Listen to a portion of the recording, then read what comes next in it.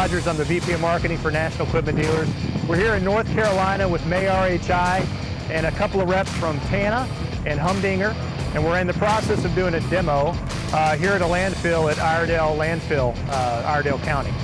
Uh, we are actually going side by side with our TANA E520 next to a Caterpillar and uh, have several different customers out here evaluating the efficiencies and the productivity of the TANA. And uh, I'm going to turn it over to Dusty Ziegler to uh, share a little bit about what they're telling him and share a little bit about the TANA specifically. All right, Dusty Ziegler here again in the aromatic landfill. We're in Statesville, North Carolina, at Iredell County. Uh, we got a few prospects, several counties to come out and see a TANA landfill compactor demonstration. Uh, we have here our E520 series, which is our 120,000 pound class compactor. Uh, you hopefully you'll see it working in the background here in a second as it comes across your vision. And uh, we're here today to answer questions for, for our prospects and just showcase what we have. Uh, looking at the, the E520 TANA uh, compared to our, our, competition in the background, uh, of course our engineering's different. You can see that right away. We have two drums and not four wheels. Uh, our cab is mounted on the forward part of the machine, and those are very notable differences.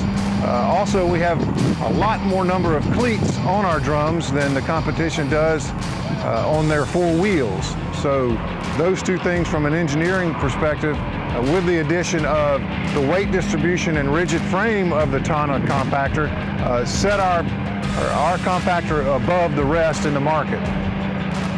If you'll note the TANA, we're working on a slope today. We have a, uh, a very close working face and everything we're doing is, is, pushing and compacting up and down and, and our compact, the TANA compactor is side by side with our competition. Uh, hopefully our, our prospects can see the different features of the TANA and how well it does versus the competition out on the market. A lot of comments and, and especially questions we get from, from operators and, and onlookers are uh, about the, the way the machine operates. Uh, the cab sits forward. Uh, visibility is from your toenails to your eyebrows. You can see the blade. So there's a, a few differences that you have to adjust yourself to. Uh, another notable difference in, in, the operating of the machine is uh, when you're riding over the trash, um, it feels a lot smoother because you're not rocking back and forth and riding over the trash. You're, you're actually pushing the trash down and compacting it uh, quite a bit much more with the TANA. So questions like that and then the questions about the uh, components of the machine were, are very common. Uh, TANA uses the Cummins engine and Rexroth pumps and the Parker hydraulics, uh, which are very, very familiar products to most anyone, anyone in, in the landfill business or the construction equipment industry. TANA is a, a name brand that's growing in popularity in North America. TANA is a global company they have been building the compactor since the 1960s. They have been mass producing it since the early 1970s. Uh, they're a Finland company and manufacture the product in Finland. Uh, it's growing growing in popularity. Uh, North America, uh, Humdinger and TANA North America have, have been spreading the TANA product from, from Florida to Canada for the last 10 years. And uh, we're doing things like what we're doing today to, to get it out there and get it known. Um, we, we have high hopes that today will be a success and we'll sell another TANA.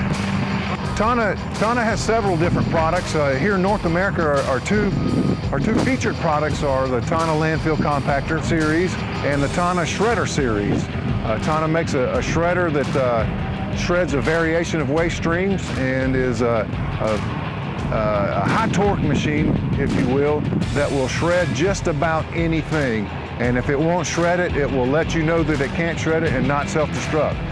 Um, other products that TANA has, uh, globally speaking, they, they have some separating machines and um, uh, trommel screens, star screens, and, and, things of that nature. So they're not just a, a one-hit wonder, so to speak.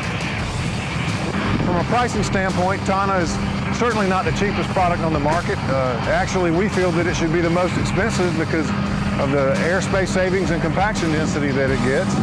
But, but we're neck and neck with the uh, industry leaders. Uh, but we create the airspace savings and save landfills a lot of money. We're a very efficient machine. Uh, we save time and resources and certainly have uh, fuel economies that help us uh, help our customers save more money. All of our guys at TANA North America, we're excited to work with NED and May and, and RHI uh, because of because of their passion and their enthusiasm, let alone their their work ethic and. Uh, and, and, what they're trying to do in the market. And they're, they're, all such a great big team, and we're happy to be a part of what they do and, and look forward to enjoying some of their successes and being part of their successes. Folks, we appreciate your attention. We hope you enjoyed the show. We're going to get back to the demo. Have a great day.